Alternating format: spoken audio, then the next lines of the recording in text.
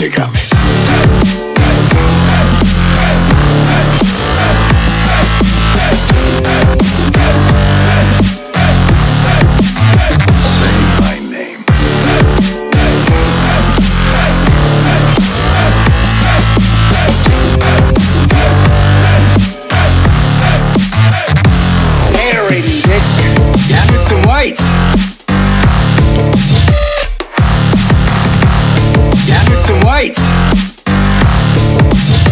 Yes, science, bitch. Yeah, Mr. White. Yeah, Mr. White.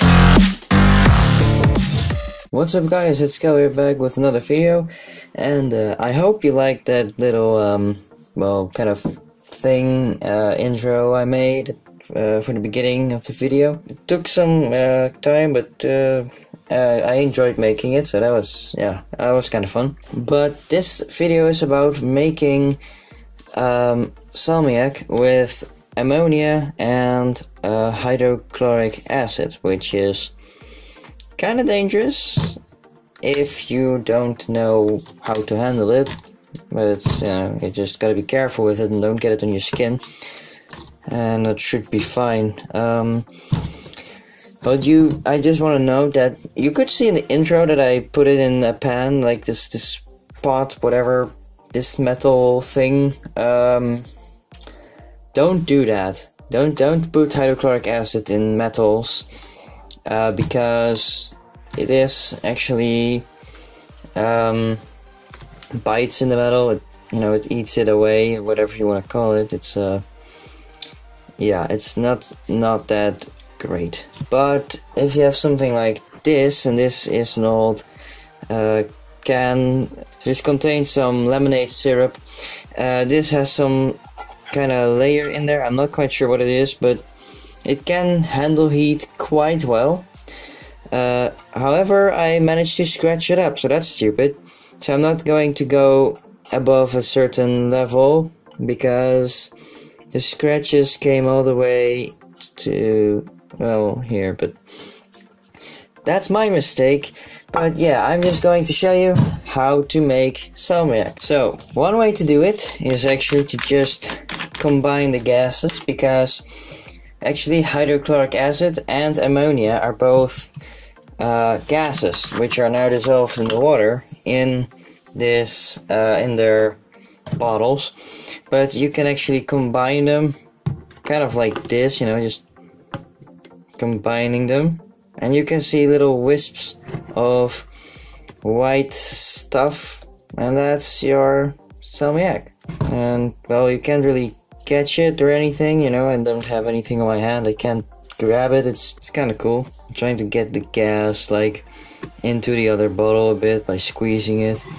And now can I get it out like this? Yeah it's kind of cool. Um you just have to be careful of this ammonia. It's really stingy in the eyes. It stinks. It smells like cat piss because actually your body produces this and and uh, actually when you like you go to the toilet and um, you know your pee is yellow um, well this has developed um, in your body a lot more than when your pee isn't yellow. And that's why yellow pee stinks a lot more usually. It's uh, because well ammonia is nothing we can do anything with in our bodies. It's it's a waste. But if you combine it with hydrochloric acid, I will draw the uh, equation uh, on paper later. Uh, you get salmiak, which is perfectly edible. It's quite fun uh, making little smoke effects with uh, salmiak. Obviously, um, we want to be able to eat it because it's edible. It's um, used quite a lot in candy. Uh, so in candies such as um, uh, licorice or something. That's still a strange name for, for something that is so great, you know, licorice. That doesn't sound quite nice. But uh, the ammonia is 5% or less, and the uh, hydrochloric acid is 10% or less. It means that, well, you're not really going to be able to do much with this smoke that comes off of it.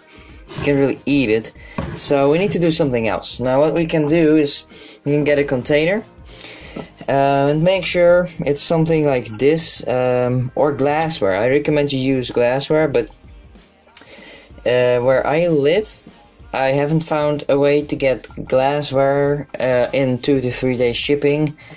Uh, which means not from China for a reasonable price because I found glassware, but that's like 10 bucks shipping, or from China and then it takes two weeks to get here, and both are not really great options for me. But, anyways, um, since we are using hydrochloric acid 10% or less, and this is 5% or less, I would recommend you use 2 to 1 ratio or 3 to 1 ratio because, well, doing this in metal is not great, but you know, this little layer will probably be able to survive the hydrochloric acid. So I'm just going to pour some in. Just a tiny bit. And that's it. And I pour some of this in. And already you can see some things happening maybe. Maybe not, it's kind of hard to see. Now we just start like this. And if you notice, uh, you can't feel it, but if you do this yourself and you feel, it gets warm. Uh, which is quite funny. It's an exothermic reaction then, which uh, that's funny because I didn't know that. Uh, so it's uh, releasing energy, which which might make sense because you know, it's going from a gas to a uh, solid, which is now in liquid um, but oh well. So now we have this mixed up like this, very scientific, you know. Do this. We're going to cook it, which means we're gonna heat it, and what will be left is um, what we want, uh. Turn it on. There we go. So now this is heating up. I'm going to be talking about um, ways you can make this. Uh, you can obviously just get some. Mm, industrial grade of these products and you know you can get a I don't know something you can catch your uh, salmiak with and that's pretty cool. But that's not uh, the easiest way to make the most. But luckily you have China. You can buy glassware for know, two bucks and bit of shipping. And well the reason I'm I didn't do that for this video is because I don't have the, that much time to make all of these videos and do what I want to do because you know now it's summer and I don't have that much summertime. Uh, make sure it's borosilicate glass which can withstand quite a bit of heat and you can use something like this or you know just a cheap little heater. Don't make it too hot and you will be golden. And it has some bubbles on the bottom already and that's that's good that's good as you can see it's starting to boil which is good the water is evaporating off and we're going to see um, what we are going to be left with which hopefully is salmiak. For some reason uh, the electric thing uh, didn't work anymore. Like it, it it's still hot and it still gets hot but it didn't quite heat the can well enough, so I made one of my own alcohol burners a little while ago, and that seems to be working quite well. I do suggest you use actual glassware and yeah, something that can be temperature controlled or you temperature control yourself, but yeah, this will work. And there's still paint on the can, which is, you know, shady, but well, you know what you're watching when you click on my channel after a couple of videos. God, I can smell the paint. Yeah, I'm trying to manage the flame a little bit. There's, you know, the paint coming off and stuff is not very good. I can see a slight discoloration, which is not good. I don't recommend you do this. Um, yeah. Oh, God, that's bad. Uh, my idea didn't quite work you can see that there's discoloration, which means don't eat it if it's not 100% pure crystal white. Don't eat it. It's dangerous. There can be anything in there that you don't know what it is. Don't do it. I'm giving you advice right now. Take it from me. You don't want to hurt your body. Don't try to eat it if it looks like this, for example. It needs to be 100% crystal white. What you would expect from salt. This isn't good. This is horrible. No, this is just horrible. The plastic layer couldn't handle the heat of the flame. and it came off. Admittedly, that was a bad idea. But I did make what I wanted to make, but the point was, and that is this powdery stuff that I cannot eat. That's the stuff. That's good. You can eat that if you made it correctly. So use glassware. I thought, no, I'll give this a try. Bad idea. Um, let's go to the equation. This this was a fun experiment, but yeah, glassware. You live and learn. So, if I want to write down the equation, um, we take uh, ammonia, which is NH3, and we need to take hydrochloric acid.